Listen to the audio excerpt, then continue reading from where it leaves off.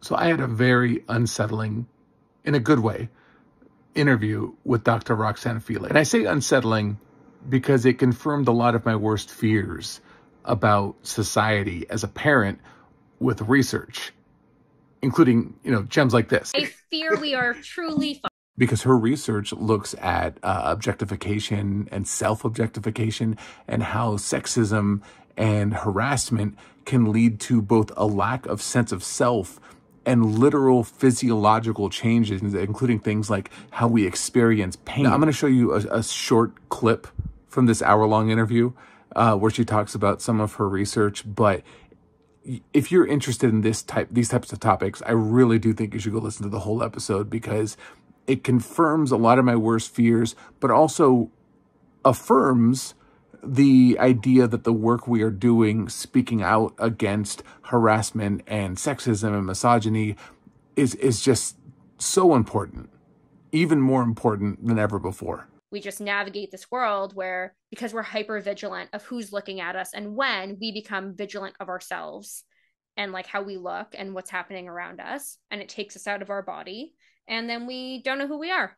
What and maybe you don't have the answer to this, maybe there is no answer, but like what what do we do? Stop like, harassing women. I think about just like obviously my my mindset of having two young daughters that yeah. are entering this world uh I I like, fear what, what, can we I fear we are truly because what I found yeah. in like I, I've looked at this in several different ways. Like I've looked at different like different ways that women can be objectified, right? You can be mm-hmm. objectified by someone else objectifying you and commenting on your appearance or treating you as an object. But women can objectify themselves. They can do that in various different ways. One very common way is editing your selfies, right? Mm-hmm. Treating yourself as an object on a screen to be smoothed and enhanced and whatever.